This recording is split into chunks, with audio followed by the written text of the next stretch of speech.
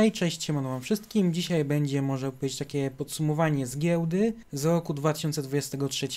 Ogólnie w całym roku nie było tego zbyt wiele, nie kupiłem tych rzeczy zbyt dużo na samej giełdzie. Częściej było tak, że widziałem coś na giełdzie, ale jeśli nawet coś było ciekawego, to odstraszały ceny, bo na Elixie, Allegro i tego typu serwisach było po prostu taniej, więc często po prostu bycie na giełdzie było po prostu jakąś inspiracją do zakupu. W tle widzicie PlayStation 2 i Xboxa, ale to nie ma nic związanego z tym filmem, po prostu je tam postawiłem z tyłu. No i tak jak wspominałem, po prostu w 2023 roku było za mało rzeczy, żeby robić to co miesiąc, tak jak to było w 2022 roku. Ktoś mnie ostatnio w komentarzu właśnie o to zapytał, czy będzie coś z giełdy i tak będzie. I to jest, można powiedzieć, podsumowanie moich zakupów w 2023 roku na giełdzie i nie tylko. I mówię tutaj głównie o takich zakupach właśnie konsole, gry, głównie elektronika nas tu interesuje na tym kanale. Tak więc przejdźmy może do pierwszego produktu.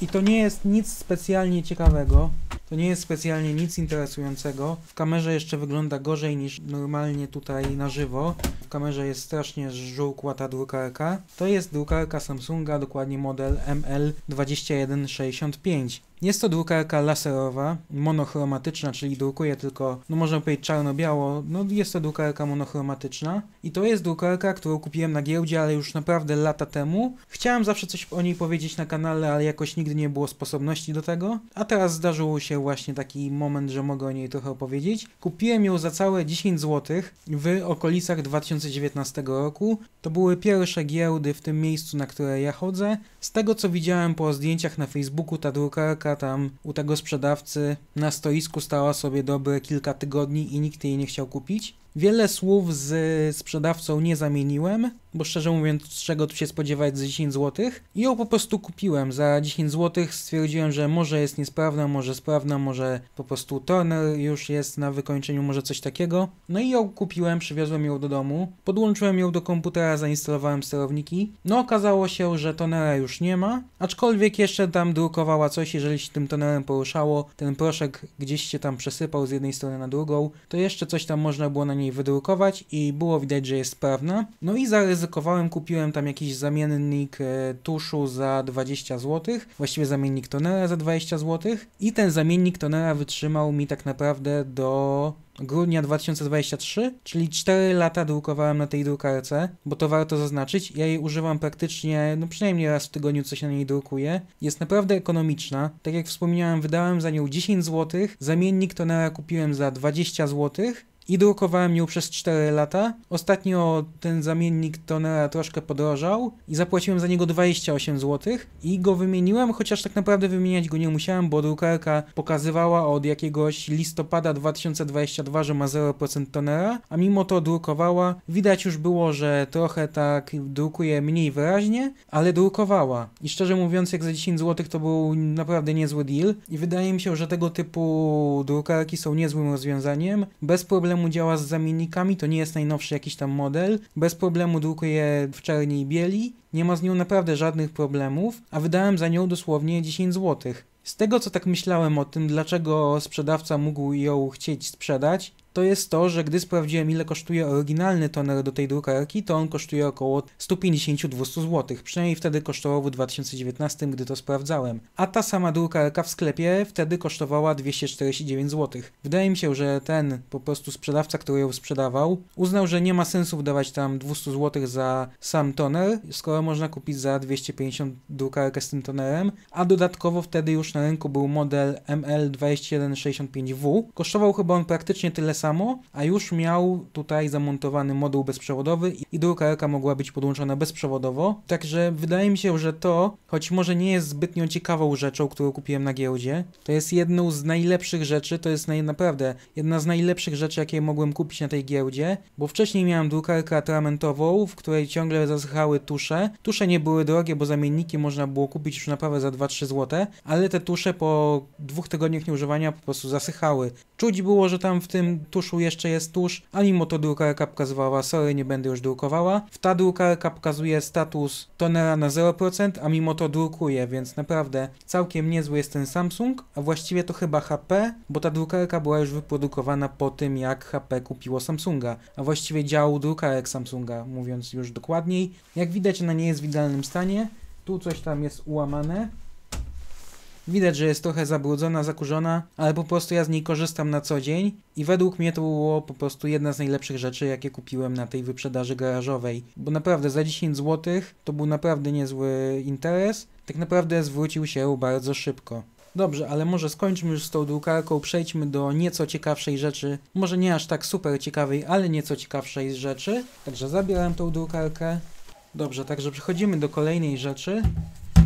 Znów mówię, że to nie jest nic specjalnie interesującego, ale to jest, wydaje mi się, że też ciekawy zakup. To akurat nie było na giełdzie, to kupiłem na jakimś serwisie, już nie pamiętam dokładnie, czy było OLX, Allegro, Vinted, czy co to było, ale w takim dużym skrócie. Teraz jesteśmy w miejscu, można powiedzieć, takim magazynie, warsztacie, nie wiem jak to nawet nazwać, ale jesteśmy właśnie w takim pomieszczeniu, gdzie nie bardzo mam zasięg telefonu, tej sieci komórkowej. Zbytnio tu nie ma tego zasięgu, ponieważ no mury tutaj są dość grube, a jeśli nie ma zasięgu, to przydałoby się tu jakieś Wi-Fi. I pociągnąłem sobie tutaj skrętkę do tego pomieszczenia i miałem tu przez długi czas taki router TP-Linka. Teraz go tu szukałem w okolicy, ale nie mogę go znaleźć. To był najprostszy router TP-Linka z, z łączem RJ11. To był router pod ADSL 2+, coś takiego. To był najprostszy po prostu router, który ktoś mi kiedyś dał, bo już mu nie był potrzebny. On miał porty tam 100 mega na sekundę, więc to zdecydowanie nie był najszybszy router, ale po prostu korzystałem z tego miejsca, w którym teraz jestem.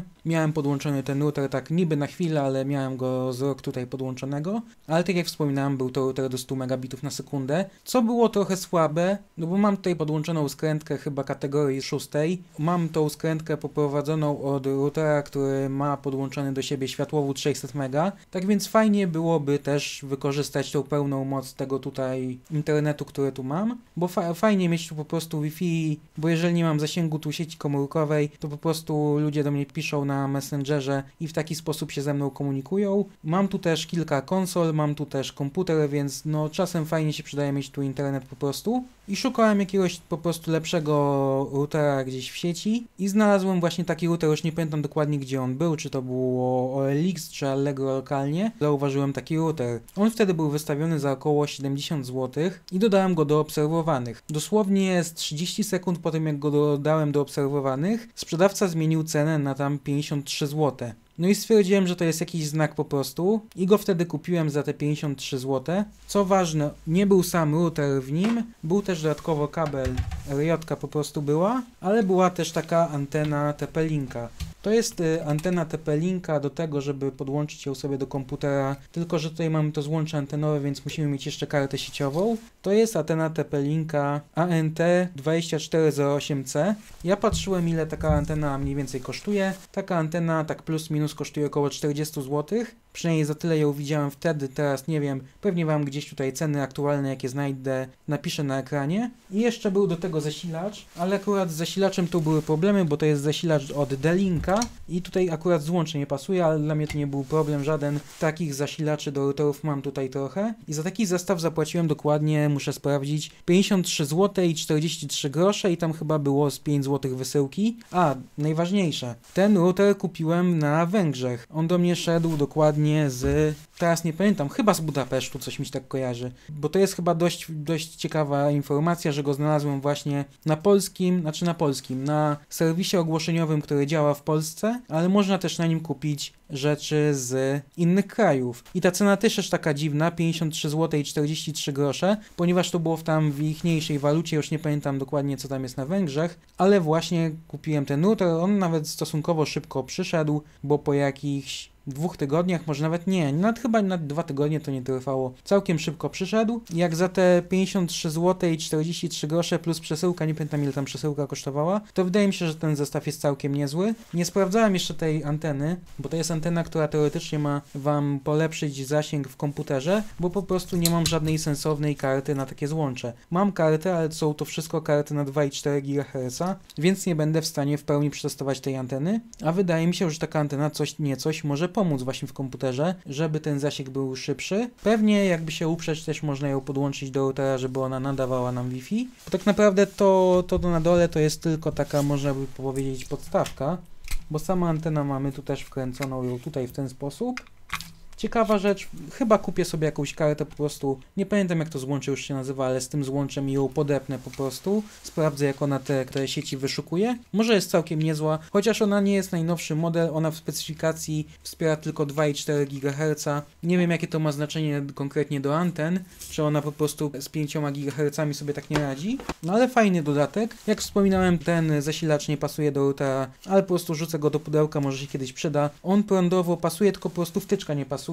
A co już do samego routera, ma on porty gigabitowe, czyli już nam bez problemu tutaj wspiera ten szybszy internet. Wi-Fi na tym routerze jest naprawdę świetne, bo bez problemu jestem w stanie wykorzystać pełne łącze 600 megabitów. Problem natomiast się pojawia z portami Ethernet. Nie wiem dlaczego to jest, ale na portach Ethernet mam blokadę do 400 mega na sekundę. Po prostu tam 410-430 mega i to jest limit dla tego routera. Nie wiem skąd to się bierze, nie wiem dlaczego to jest. Sprawdzałem to na kilku komputerach. Przyniosłem też laptopa tego Della, o którym kiedyś był tam film i na tym Dellu na sieci bezprzewodowej osiągnąłem tam 600 kilka mega na sekundę, a na sieci przewodowej już osiągnąłem tam tylko 400 mega na sekundę. Nie wiem z czego to wynika. Patrzyłem testy tego routera, można powiedzieć, że z epoki tego routera i nie wiem ile on osiągał na, na pobieraniu po prostu z sieci, ale przy udostępnieniu plików w sieci, gdy po prostu mieliśmy jeden komputer wpięty do jednego portu, drugi do portu, to przy kopiowaniu plików po prostu z jednego komputera na drugi przez ten router, tam dochodziło do 800 mega na sekundę, więc powinien on działać szybciej. Nie wiem, może to też wina oprogramowania, bo ja tutaj zaktualizowałem to oprogramowanie do najnowszej wersji. Może coś tutaj to popsuło, ale szczerze mówiąc do tego miejsca, w którym ja jestem, tutaj zbyt często nie jestem. W tym moim składziku, warsztacie, czy jak to tam nazwać,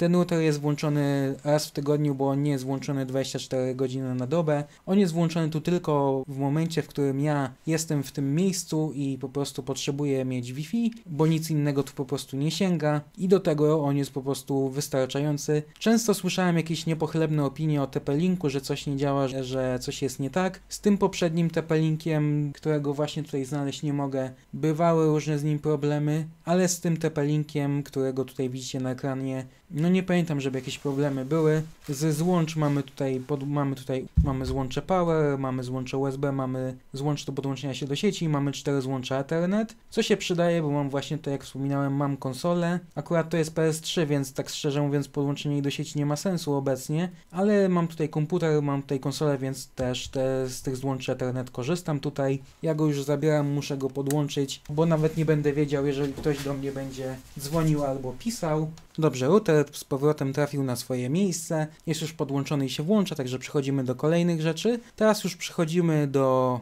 gier. Najpierw zacznę może od tych gier, które nie są serią, bo potem przejdziemy do całej, można powiedzieć, litanii gier z jednej serii, którą, no nie powiem, że przypadkowo, ale kupiłem. Także przechodzimy do pierwszej gry, którą jest coś takiego. Jest to MTV Music Generator czy Generator 3.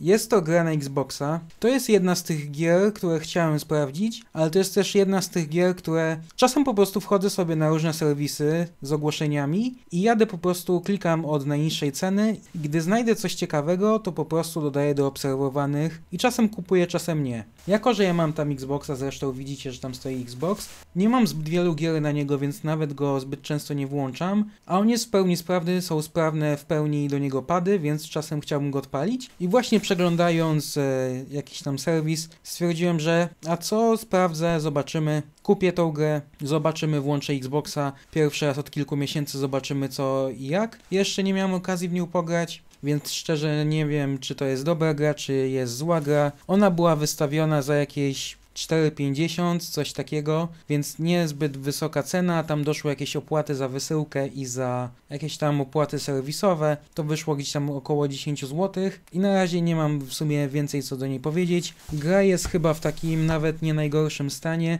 opakowanie jest w takim średnim stanie, bo jest trochę poturbowane, ta instrukcja też jest taka troszkę, no widać, że ta gra ma swoje lata, płyta, no jakoś specjalnie zniszczona nie jest, powinna się bez problemu odpalać, ale też nie jest bez rysek, tak więc wydaje mi się, że za te, no nie wiem ile dokładnie za to zapłaciłem, ale wydaje mi się, że mniej niż 10 zł. Więc za mniej niż 10 zł to wydaje mi się, że nawet do kolekcji to będzie niezła gra. Tak więc chciałbym ją sobie zobaczyć. A, jeszcze jedno, bo teraz zobaczyłem screenshoty z tej gry. Ja kiedyś w coś podobnego, to nie była gra, tylko właściwie program. W coś podobnego grałem na PC. Nie wiem jak to się nazywało, nie pamiętam kompletnie. To było gdzieś w okolicach 2004-2005. Ja w coś podobnego, no można powiedzieć, że grałem, że tam były takie klocki z muzyką i się tworzyło muzykę za pomocą tych takich klocków. Można powiedzieć, że się budowało muzykę wręcz. Ja w coś podobnego używałem, nie pamiętam co to było. I po prostu gdy zobaczyłem tą grę, zobaczyłem screenshoty z tej gry, z tej gry stwierdziłem, że ją kupię, zobaczę. Przejdźmy dalej do kolejnej gry, którą kupiłem w ten sam sposób. Jest to Prince of Persia. To jest ta gra z 2008 roku. Gra jest naprawdę w, bym powiedział, stanie no można powiedzieć 9 na 10, bo jest praktycznie, praktycznie idealna. Samo pudełko tutaj nie widzę żadnych uszkodzeń. Jak widzicie tutaj te znaki, te flagi Norwegii, Danii i tak dalej, to jest kolejna rzecz, którą kupiłem za granicą. Ona kosztowała mnie z opłatami tutaj serwisu, ale bez kosztów wysyłki jeszcze 7,87. I co ciekawe, ta nazwa użytkownika, który ją sprzedawał, była jakaś taka, no nie brzmiała po prostu jakby to była osoba z Danii. Ten nick brzmiał polsko, polsko i co się okazało, kupiłem to od Polaka, który mieszka w Danii. I też łączny koszt tego zakupu to było no gdzieś okolice 10 zł. Ta wysyłka chyba kosztowała około 4 zł. No więc łącznie tam było gdzieś około 10-11 zł. Tak jak wspominałem, gra jest w całkiem niezłym stanie. Płyta, szczerze mówiąc, nie ma na niej żadnej skazy, nie ma na niej żadnej ryski. Nie bardzo mam jak wam to pokazać, ale jest po prostu płyta jest w idealnym stanie. Tutaj mamy też instrukcję obsługi.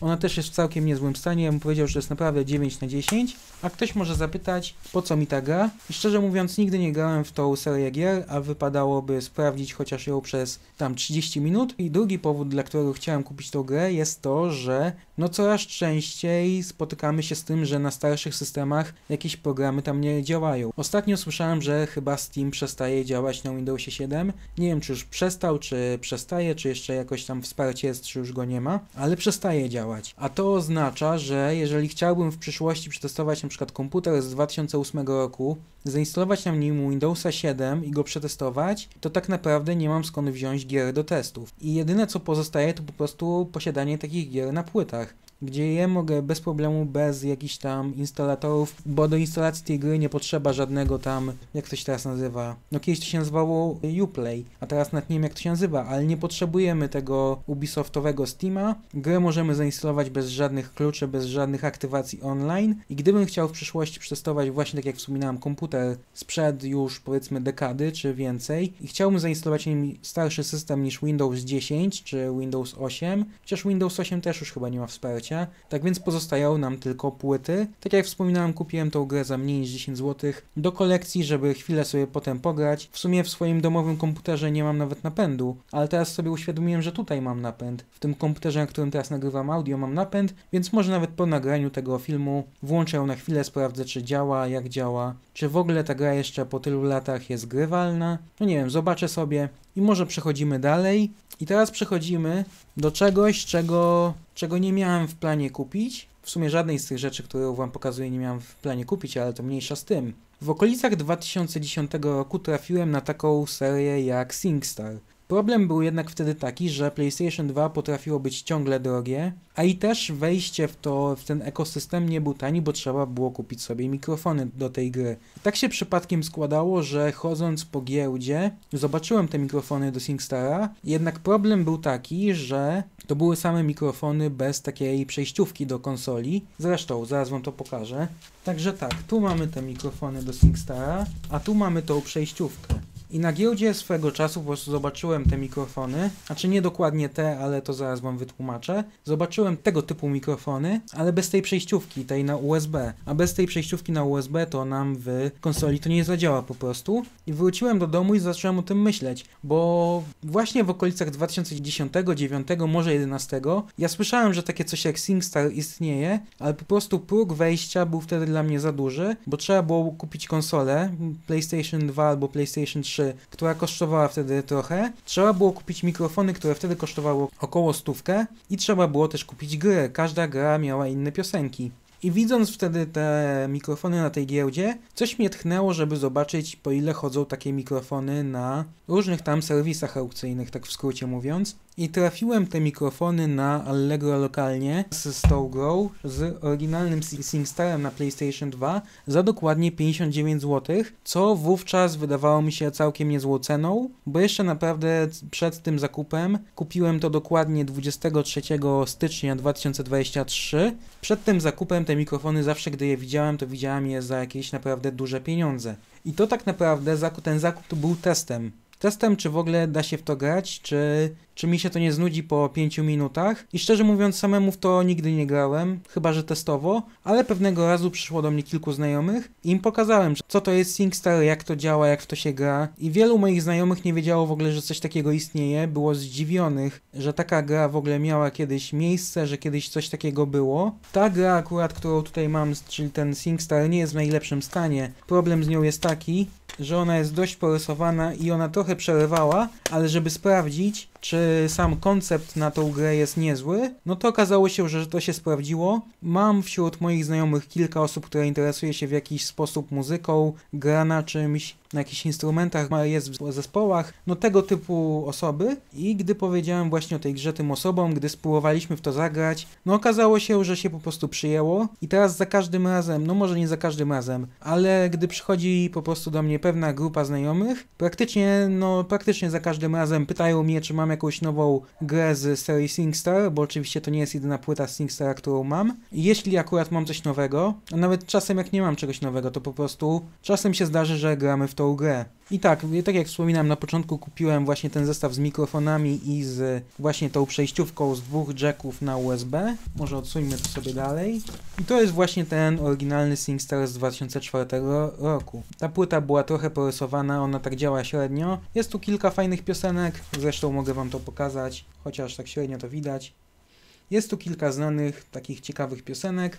Może nie wszystkie są w moim guście, ale kilka jest ciekawych. Dobrze, ale przejdźmy dalej. Wielu moich znajomych mówiło, że no fajnie się gra, ale fajnie byłoby też pośpiewać coś po polsku. I co się okazało, że SingStar też wychodził w Polsce w polskich wersjach językowych. Znaczy w polskich wersjach językowych, z polskimi piosenkami w skrócie tak powiem. I kolejną grą, którą kupiłem już 6 lutego 2023, znaczy te daty mogą być przybliżone, ale to nieważne. Powiedzmy, że kupiłem ją w lutym 2023.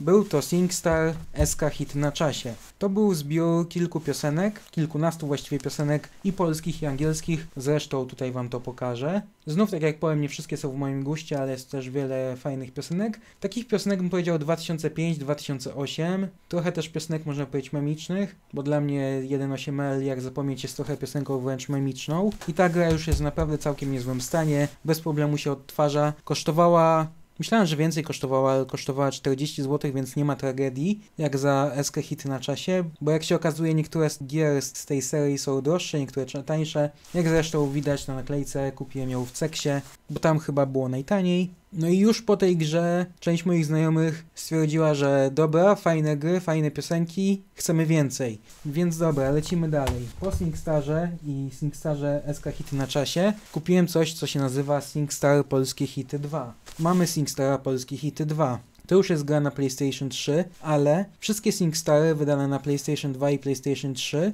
działają bez problemu na PlayStation 3. Wystarczy uruchomić aplikację, która jest dodana po którejś aktualizacji na PlayStation 3 Wkładając płytę z SingStarem z PlayStation 2 on bez problemu działa. Ja tych gier nie odpalam na PlayStation 2, tylko odpalam je wszystkie na PlayStation 3, stąd też mam tutaj PlayStation 3, tak jak już wspominałem przy tym routerze. I to jest kolejna gra z tej serii SingStar, to są polskie hity, tylko to są polskie hity 1, a ja wspominałem o polskich hitach 2. I to znów jest gra, która była kupiona w Ceksie, Tutaj też mamy piosenki, ta czcionka jest taka średnia, znaczy ta kolorystyka jest taka trochę średnia i trochę tutaj średnio coś przeczytać, ale tu mamy kolejne piosenki, tu już są troszkę nowsze piosenki, takie 2009, chyba 2010, coś takiego. I za tą grę zapłaciłem całe 50 zł.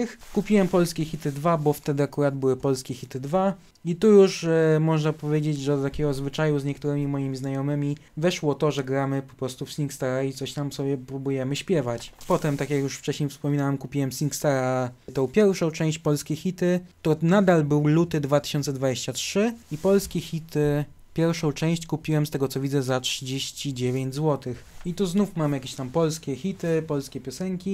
Też już raczej te takie 2009 chyba, 2008. Chociaż też jest trochę tutaj z takich starszych piosenek.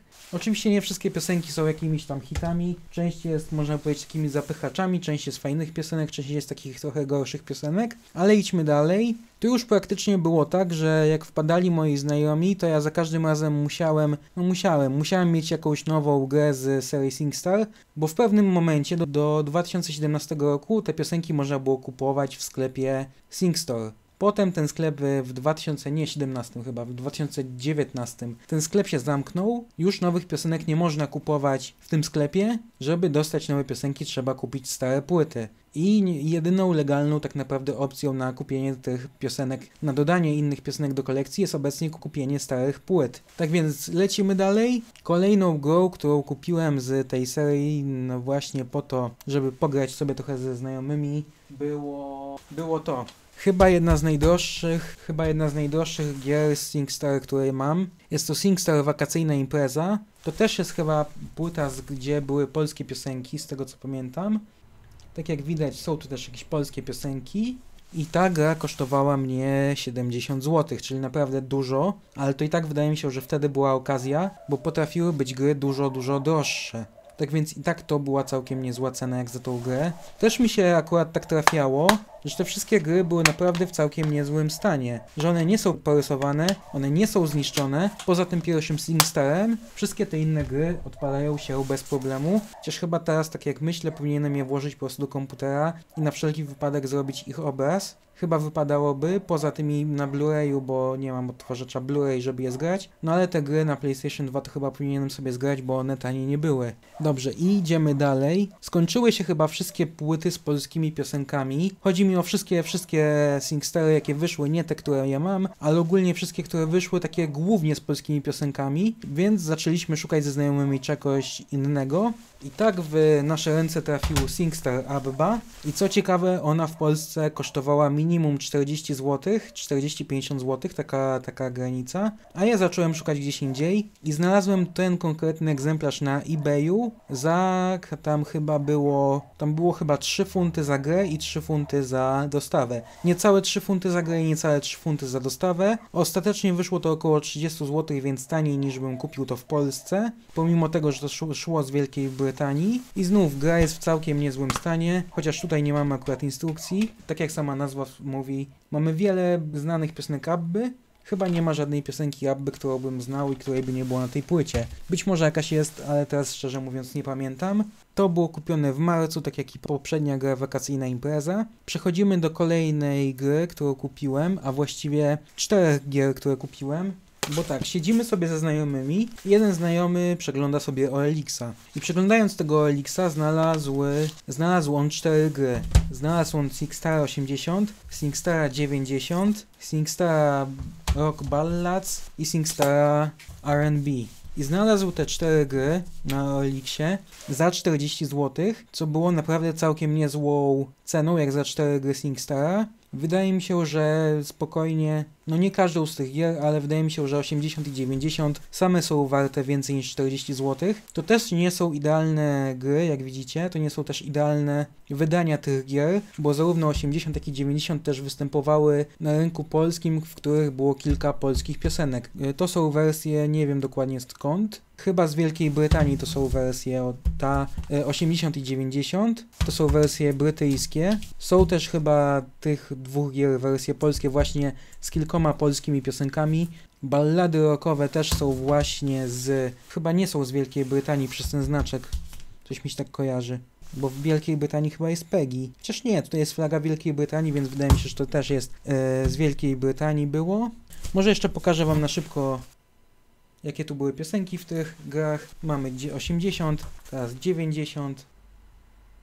Lecimy dalej z Rock Ballads. I tutaj też jest kilka interesujących piosenek. Na przykład jest, y, gdzie to jest? Mamy tutaj na przykład Nickelbacka How You Remind Me. Z takich, y, może powiedzieć, bardziej chyba trochę memicznych piosenek, ale co ciekawe, też w tej aukcji był SingStar R&B, który zawiera 16 polskich piosenek. Bo tutaj też, jak widzicie, mamy polskie piosenki. Tak więc jeszcze, tak jak wcześniej mówiłem, że nie było już gier głównie z polskimi piosenkami, to jednak było coś tam. I tutaj też są raczej takie piosenki, to są chyba raczej trochę starsze piosenki polskie. Znaczy takie starsze, mówię, że starsze, że 2005 bardziej niż 2010. Dobra, i to był marzec 2000 nie, to był już kwiecień. To było kupione już w kwietniu 2023, kupione za 40 zł. Problem z SingStarem jest taki, że jeden tytuł może być wydany w różnych krajach i w różnych krajach on ma różne piosenki. Problem też jest taki, że czasem piosenki się powtarzają. Jest też, też taki problem, że tych ogólnie płyt nie było wydane jakoś tysiące, raczej było ich wydane dziesiątki, więc jakoś mega dużo tych płyt nie ma. Chodzi mi o te tytuły, ich jest trochę, ale ich jakoś specjalnie jakoś ogromnie dużo nie ma. Tak więc w, dalej w kwietniu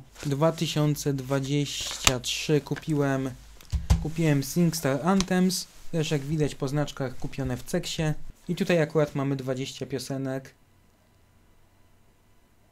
20 piosenek raczej chyba bardziej znanych niż mniej znanych. Z tego co widzę tutaj jakieś lata 80., 90., ale generalnie znane piosenki i tą grę kupiłem za złotych 20. Lecimy dalej. Przez wakacje zbytnio nic nie kupowałem, bo też zbytnio często się widywałem z moimi znajomymi. Tak więc do zakupów wróciłem pod koniec sierpnia, gdzie kupiłem SingStara Vol 2 i to jest taki można powiedzieć już miks piosenek na PlayStation 3 tutaj. Kilka znanych, kilka mniej znanych. Ogólnie tak ze wszystkimi tymi SingStarami jest, że jest trochę fajnych piosenek, trochę słabych piosenek. Niektóre z tych płyt kupiłem dosłownie za, dla dwóch czy trzech piosenek, inne kupiłem, można powiedzieć, że praktycznie wszystkie piosenki są ciekawe, ale tutaj jest kilka ciekawych piosenek.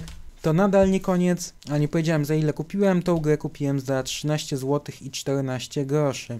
Lecimy do kolejnej gry, którą było SingStar Boy Bands i Girl Bands czyli boys bandy i girl bandy. Tutaj też mamy trochę tych piosenek. Akurat z tej płyty chyba najmniej piosenek mi się podoba. Może tam z dwie, z trzy jakieś piosenki znam, ale też to kupywałem pod znajomych, żeby po prostu tych tytułów do grania było jeszcze więcej. To kupiłem, nie wiem czy wspominałem, za 14 zł 91 groszy. Nie pamiętam już którą z tych gier, ale któraś gra też przyszła mi ze Szwecji. Nie pamiętam która, ale któraś też była ze Szwecji z tych gier. A, chyba ta bo mamy tutaj właśnie Danię, Szwecję, Norwegię, więc chyba ta gra przyszła mi ze Szwecji właśnie, no ale co ciekawe w Szwecji była taniej niż w Polsce, nawet mówiąc o kosztach wysyłki i ostatnią grą, którą kupiłem, właśnie ten Boy Bands i Girl Bands był kupiony w, we wrześniu, a tą ostatnią grę, czyli po prostu SingStara na PlayStation 3 kupiłem w październiku. I to znów możecie sobie zobaczyć, jakie piosenki są na tej płycie.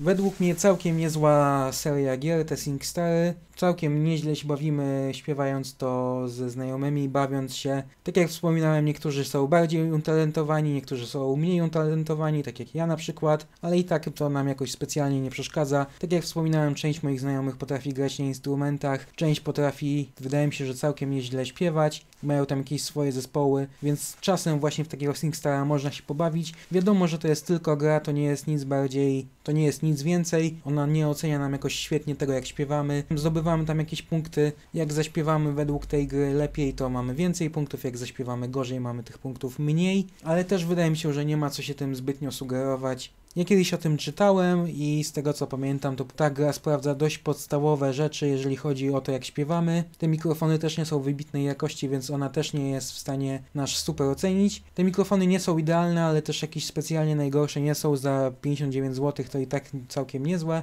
Ale tak jak wspominałem, całkiem niezła seria gier. Wielu moich znajomych nawet nie wiedziało, że coś takiego istniało. Wielu moich znajomych w czasach PlayStation 2 miało PlayStation 2, ale w ogóle nie wiedziało, że takie coś jak SingStar istnieje. No niestety Ta seria już nie istnieje, Sony ją po prostu zamknęło, nie ma już jej. Ostatnimi grami, które wyszły właśnie z tej serii to było e, SingStar, już nie pamiętam jak się nazywał, ale wyszedł na PlayStation 4, to była pierwsza część, można powiedzieć, i drugą częścią było chyba SingStar Celebration na PlayStation 4 i to są ostatnie serie z, z tej gry, chyba było 2014 i 2017, potem w 2019 zamknęli chyba serwery tej gry. Niestety z roku na rok ta gra też była coraz coraz gorsza. Na PlayStation 4 już niestety nie można odtwarzać tych gier z PlayStation 3 ani z PlayStation 2, co na PlayStation 3 było naprawdę świetne, bo nie potrzebowaliśmy PlayStation 2, żeby grać w te gry z PlayStation 2. Wystarczyło mieć najzwyklejsze PlayStation 3. Nie potrzebujemy mieć tego PlayStation 3 z kompatybilnością wsteczną.